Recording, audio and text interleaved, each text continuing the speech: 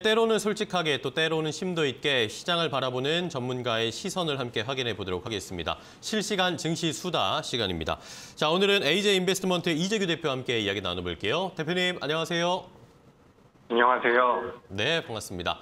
자, 시장의 흐름이 굉장히 변동성이 크고 예측할 수 없는 상황으로 계속 흘러가고 있습니다. 오미크론발 공포도 있고 어, 시장 전반적으로도 좀 침체되어 있는 상황인데 자, 이런 상황에서 어느 쪽을 우리가 좀 살펴봐야 될까요? 네, 방금 말씀하신 것처럼 지금 전 세계적으로 오미크론이라는 변이 바이러스 때문에 시장의 변동성이 굉장히 커지고 있습니다. 그렇기 때문에 이제 개인 투자자분들 중에서도 코로나19를 경험하셨던 분들은 코로나19에 관련되어 있는 수혜주를 발 빠르게 찾아서 매매를 하고 또 공격적으로 진행하기도 하실 텐데 제가 좀 말씀드리고 싶은 것은 지금 우리나라 시장에서 이 코로나 관련주를 뭐 포트에서 일부 정도는 담아도 되지만 뭐 작년이나 작년에 코로나가 처음 발병했을 때처럼이 그 정도 강세는 어렵다라고 보고 있기 때문에 이 오미크론이 확산됨에 됨으로써 수혜를 받을 수 있는 종목이라고 하더라도 뭐 적정 비중에서 대응을 하는 게 맞지 않을까라는 생각이 듭니다. 그러니까 너무 강하게 이 코로나19 확산에 대한 수혜주만 담기에는 좀 불확실성이 있다. 물론 오미크론이 앞으로 어떻게 진행될지는 봐야겠지만 현재 상황에서는 이런 의견을 좀 드리고 싶고 실제로 지금 이번 주부터 계속해서 뭐 다음 주에 뭐 옵션 만기라든지 FOMC라든지 뭐 미국의 부채 한도, 디폴트 관련된 내용들까지 부각이 될 가능성이 높기 때문에 지금 만약에 현금이 많이 있다라고 하면 어느 정도 관망하는 것도 괜찮다라고 보고 있습니다. 하지만 현실적으로 개인 투자자분들께서 지금 현금이 많이 남아있을 가능성은 굉장히 적어요. 매매를 하고 있는 상황일 가능성이 높고 그런 관점이라면 너무 급격하게 종목을 덜어내기보다는 보유를 하면서 대응을 해 나가는 게 맞지 않을까라는 의견을 드립니다. 그렇다면 지금 우리가 이런 시장, 굉장히 좀 애매하죠. 애매한 시장에서 우리가 어떤 쪽을 좀 공략해 봐야 되느냐 고민할 필요가 있는데 우리가 이 오미크론 발병 전에, 직전에 우리나라에서 가장 좋았었던 섹터들, 그리고 지금도 계속해서 업황 개선이 예상되는 섹터들에 대해서 관심을 가질 필요가 있습니다. 그 중에서 우리나라 지금 가장 좋은 것은 뭐 당연히 뭐 단연, 당연히 반도체 쪽이라고 말씀을 드리고 싶어요.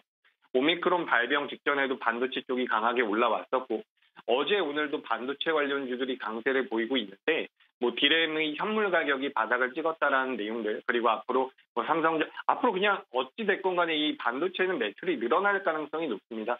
오늘 뭐 메타버스 관련주도 약세를 보이고 있지만 메타버스가 성장하기 위해서 뭐 5G가 성장하기 위해서 그리고 뭐 자동차가 성장하기 위해서 전부 다 이 반도체가 필요하기 때문에 우리가 이 반도체 쪽에 대한 메리트를 좀 볼 필요가 있다라는 생각이 듭니다.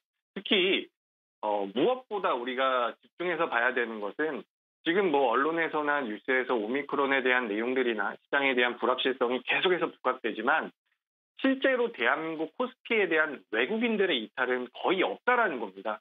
특히 반도체 쪽에 대해서는 매수가 들어오고 있는 상황, 자금이 유입되고 있는 상황이기 때문에 반도체 쪽 같은 경우는 지금 시장이 좀 불확실성에 놓여 있더라도 충분히 우상향, 뭐 계속해서 올라갈 수 있는 흐름이 나온다, 나올 가능성이 있으니까 청자분들께서도 뭐 코로나 관련주들에 너무 집중하지 마시고 반도체라든지 2010, 2022년도로 지나가면서 실적 성장이 예상되는 그런 기업들로 좀 관심 있게 보시면 그래도 시장 대비해서는 좋은 결과가 나올 수 있지 않을까라고 생각이 됩니다. 네, 좋습니다. 역시 반도체 우리나라의 기반 산업이고 가장 증시를 이끄는 메인 섹터를 보자라는 의견이신데 그럼 여러 종목들이 있잖아요. 어떤 종목을 좀 집중해서 보고 계세요? 네, 반도체 같은 경우는 소재, 전공정, 후공정 이렇게 좀 분류를 할 수가 있는데 소재 관련주들이 어떻게 보면 가장 먼저 움직이고 그다음에 뭐 전공정, 후공정 이렇게 움직이는데 네. 이번에는 좀 중요한 이슈가 이 DDR4에서 DDR5로 넘어가는 규격 변화라든지 이 디램에 관련되어 있는 부분이 좀 이슈가 될 수가 있습니다. 그래서 이 DDR DDR4에서 5로 넘어가는 규격 변화라든지 미세 공정 변화에 따른 수혜가 가능한 종목으로 우리가 좀 체크해 볼 필요가 있는데 제가 오늘 소개해 드리고 싶은 종목은 유진테크라는 기업입니다. SK 하이닉스 쪽에 대한 매출이 많은 기업이고 이 공정이 미세화됨에 됨에 따라서 필요한 장비를 생산하는 어, 전공정 증착 장비 기업입니다. 이 회사 같은 경우 뭐 최근에 뭐 시장이 흔들림에도 굉장히 견고한 모습이 나오고 있고 실제로 SK하이닉스뿐만 아니라 삼성전자라든지 미국의 반도체 업체에도 매출이 다변화되고 있는 상황이라서 지금부터 뭐 디램 가격이 현물 현물이 저점을 찍고서 반등을 하면 뭐 내년 하반기쯤에 이제 업황이 전체적으로 개선이 될 거라는 분석이 나오고 있는데 그 부분들이 좀 더 앞당겨진다라고 한다면 전공정 장비 업체로서 충분히 메리트가 부각될 수 있다라고 보고 있습니다. 그래서 이 회사 같은 경우는 그리고 영업이익률이 거의 30%에 육박하는 회사이기 때문에 판매가 되면 이게 영업이익으로 이어지는 구조를 가지고 있어요. 그렇기 때문에 현재 시장에서 굉장히 매력적인 종목이다라는 말씀을 드리고 싶고 반도체 같은 경우는 어쨌든 종합주가 지수가 어느 정도 지지력을 보여준다면 지금부터 뭐 내년 초 특히나 연초 같은 경우는 대체적으로 시장이 강세를 보이고 있, 기 때문에 그리고 뭐 11월 달까지 우리나라 시장이 굉장히 많이 하락을 했기도 하고요.